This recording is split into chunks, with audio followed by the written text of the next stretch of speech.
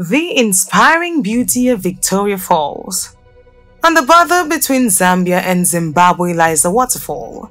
It is part of the Zambezi River and known in the Lozi language as Mosi-oa Tunya or the smoke that thunders.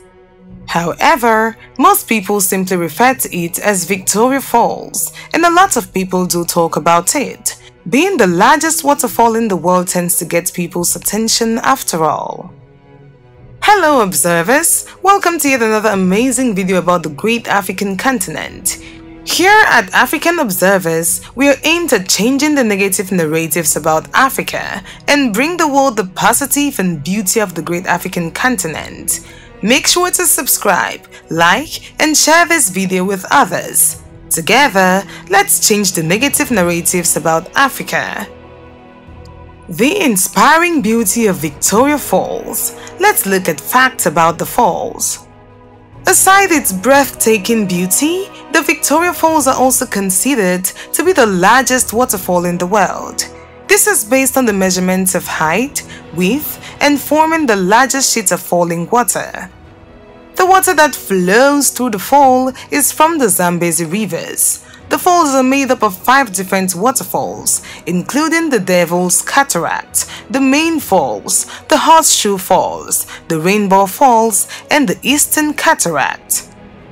When the peak floodwaters occur in April, over 625 million liters of water go over the edges each minute. The indigenous name Mosi-oa Tunya means the smoke that thunders. The spray from the falls can be seen from great distances, so it is a spectacular sight from many different directions. Due to its tropical location, the Victoria Falls also has wet and dry seasons. The driest time of the year to visit is considered to be June through January. The rainy season is February through May. There can be extensive amounts of rain and mist during the wet season that potential travelers might want to consider when making their plans. From the pages of the history books, people trekking to the fall are following in the footsteps of the famous historical figure Dr. David Livingstone. In 1855, he was transported by indigenous Makololo tribe members to the edge of the fall during the course of his explorations. Dr. Livingstone was awed by the beauty of the area and gave it the name of his reigning monarch, Queen Victoria. A statue of Dr. Livingstone overlooks the Devil's Cataract, recognizing his commitment to the area. Now getting to the falls. Before reaching the falls, the Zambezi River flows through a valley on a sheet of basalt. There were several tree-covered islands, which increase in number as you get closer to the cascade. There is a single vertical drop. However, the number of gorges means the number of drops is typically listed at 2. When it's not flood season, the spray from the falls reaches a height of over 1300 feet and will display moonbows instead of rainbows during the full moon. It was first marked on a map by Nicolas de Fer in 1715, but the falls were used by natives as early as the Stone Age.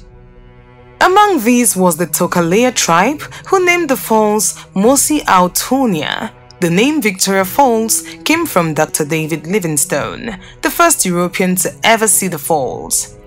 He named them after Queen Victoria and wrote, no one can imagine the beauty of the view from anything witnessed in England, since so lovely must have been gazed upon by angels in their flight.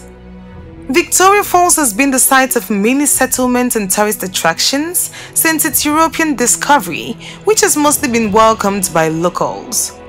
Both Zimbabwe and Zambia offer day passes to cross the border to see the falls from both sides but these vary in price and visa regulations change frequently.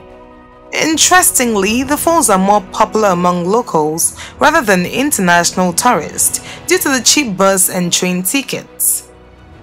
Here is another hotspot we should look at, the Devil's Pool and the Boiling Pot. Sounds strange, right?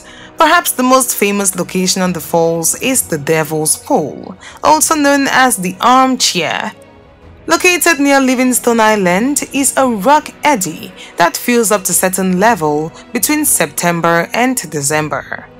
While at this level, swimmers can relatively enjoy a safe spot with minimal current despite the edge of the waterfall being mere feet away. It's even described as the ultimate infinity pool on the Zambia Tourism website. Visitors are allowed to enjoy the pool, but only with the help of a guide. The cascade is just a few feet away. After all, that's a fall nobody wants to make. Much like the Devil's Pool is the boiling pot, a pool found in the second gorge. During low water, the surface is smooth, with high waters, however, comes gigantic swells and boiling turbulence, hence the name. It's not uncommon to find objects or creatures swirling in or washed up on shore near the boiling pot. Unlike the Devil's Pool, the boiling pot is not a tourist attraction. But oh well, that doesn't stop thrill seekers however from attempting to visit this part of the falls. If you're inspired by Victoria Falls and want to plan a vacation, there are many tourism companies in Zimbabwe offering artist workshops that take small groups into the rainforest, where you'll be surrounded by the falls and immersed in inspiration. Thank me later. We are happy you made it to the end of this video. We'd love to know your thoughts about Victoria Falls in the comment section below. Share your experiences and thoughts with us. And do not forget to subscribe, turn the notification bell so as to join the Observers community.